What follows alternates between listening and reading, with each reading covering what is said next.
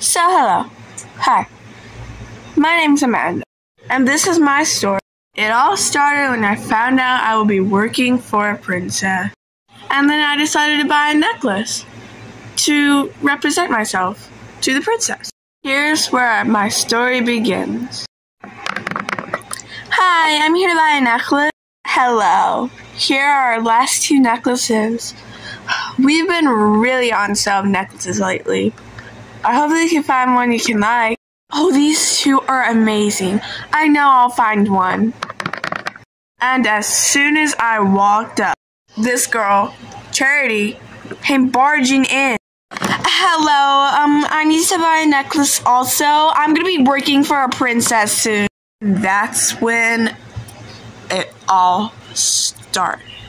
Um, excuse me, ma'am, I was in front. Well, it's like really important. I really need to buy a necklace. Well, ma'am, you have to wait.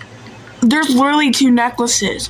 I'm sure the one that I pick and the one I don't pick will really suit you. I mean, just look at them.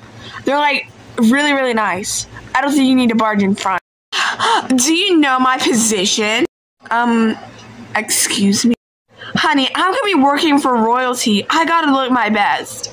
So you might as well just wait. Well, honey, I'm working for the princess. What royalty do you mean?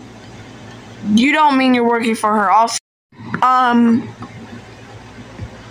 um I I'm working for a much a better royalty. I'm working for the queen. So, may I pick my necklace? No, and I'll take this gold one. Okay. After paying. Thank you so much. See, I hope your job is way more important.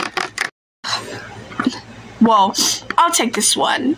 It's not as big as the gold one. Do you have any bigger sizes? Uh, no, ma'am, we don't. This this is our last necklace. I advise you to buy it if you really want one. I can't wait for one. I guess is what I have to do. After paying, uh, you know, I guess it fits. Uh, thank you, not. Um, what did you just say? And that started it all.